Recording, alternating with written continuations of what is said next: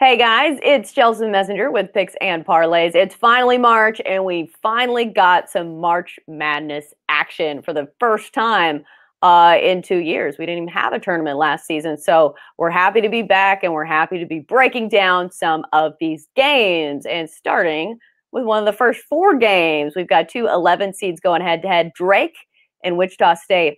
Uh, Wichita State favored minus one and a half. Total is 141.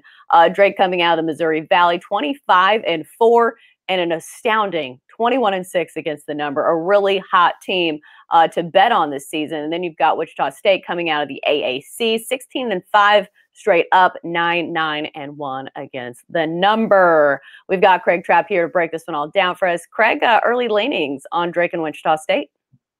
Uh, pretty amazing seasons for both of these teams. You know, obviously, uh, not many people expected Wichita to be here because you know once Gregg Marshall was fired, uh, really late. I mean, I think they were just a few weeks out from practice when he was let go. So most people kind of written this Wichita State team. So it was pretty amazing what they did.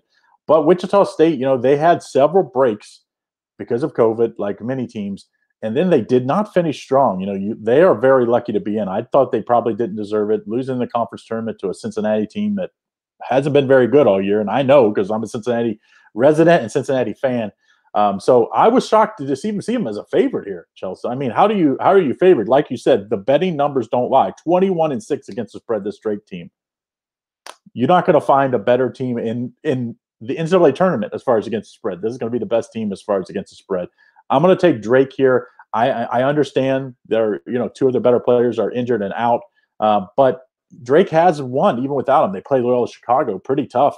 And I'm going to tell you, if you haven't seen Loyola Chicago play, you thought that Final Four team was good. This team is as good. Not going to sneak up on anybody this time.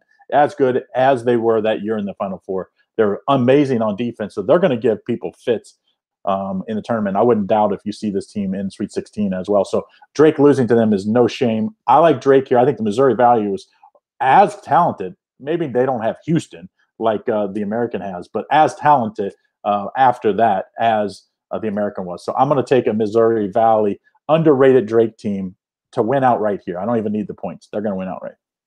Right. And I think a lot of bettors will probably be on that train. I'm wondering if this line's going to move because when I saw it, I was a little shocked because I know as far as the betting community goes, everyone loves betting on Drake. And, and you've got a high powered offense that's fun to watch too, uh, averaging 77 points a game and shooting almost 50% uh, from the field. And then you've got Wichita State that's on the opposite end. Not a great offense, but their defense, uh, statistically speaking, pretty solid. Top 30 in opponent field goal percentage and limiting opponents to just 67 points per game and 40% from the field. So uh, a clash of styles there.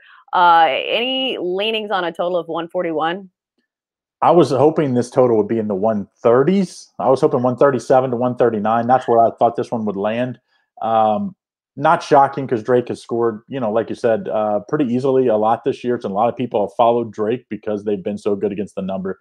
Um, I would probably play, you know, if I'm playing Drake, I'm thinking that Drake gets it into their style. So I would probably uh, lean towards that over, even though much stronger play to take Drake. I just think I just think the American wasn't very good this year. That's what my um, you know argument. Is. I think the Missouri Valley was way better than what people gave it credit for, and I think you're going to see that with Wichita uh, with uh, uh, Drake, and I also think you're going to see it with Loyola Chicago, and I think Wichita State's going to realize they're in for a battle in this one, as I think Wichita State loses outright.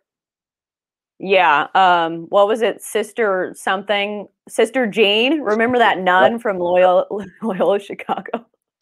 Uh, all right. Well, I'll stop rambling. That's going to do it for our college hoops talk here on Picks and Parlays. Great stuff from Craig Trapp as always. Craig, thanks for joining us.